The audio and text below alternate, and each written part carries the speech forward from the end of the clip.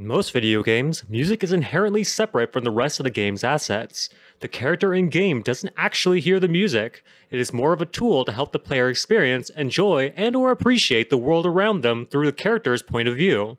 Well, what if we allowed the music to actually influence the world?